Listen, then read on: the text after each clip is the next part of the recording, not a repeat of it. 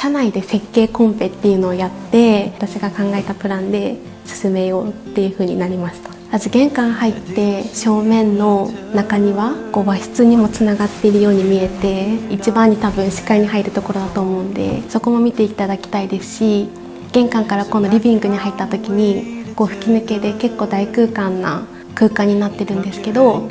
縦だけじゃなくて横にも広がってるかのような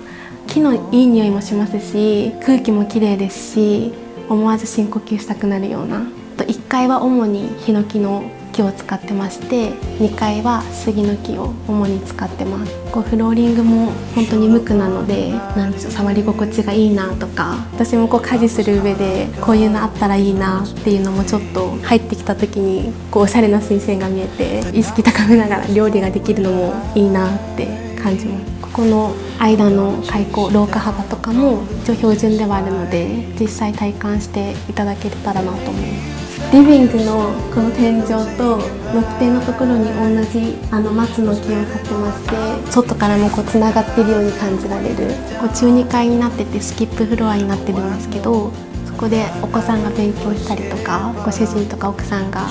パソコンをちょっとちょこちょこってしながらっていうのもいいかなと思います。構隠し扉うちのお客さんやる方多いんですよ。区切られてはいるけどなんとなくつながってるみたいな感じがいいかなと思います。和室の床の間の部分はお月様をイメージして丸い形にさせてもらったんです。こう階段が上がっていくと木育広場が左手にあるんですけどこう打ち合わせしながらお子さんの様子を見ることもできる風になってたのでインテリアが素敵っていうよりかはあこのお家が素敵だなってこれだったらお客さん呼びたくなるねとか一緒にご飯をこのダイニングでこのヒノキのテーブルで食べたいねとかずっと本当おばあちゃんとかになってもなんか好んでいただけそうなお家だなって思うんですけど。自然派の建物がどのように皆さんに響くかなとは思ってちょっと不安もあり入られた方がここ居心地がいいって言っていただいたのが印象的かなっていうところがあります。構造材だけではなくて実際に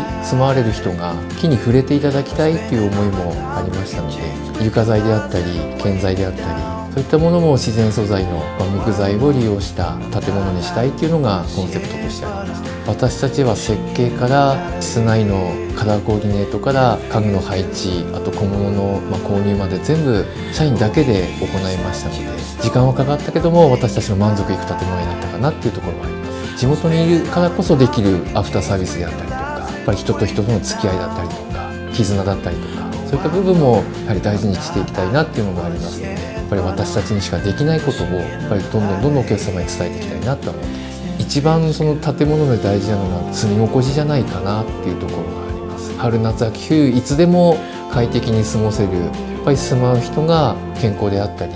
建物もやっぱり健康で丈夫で長持ちするような建物としてご提案差し上げてますので図面ではわからない体感してみないとわからない部分も是非来てみていただければ感じていただけるかなと思いますのでいらしていただければと思います。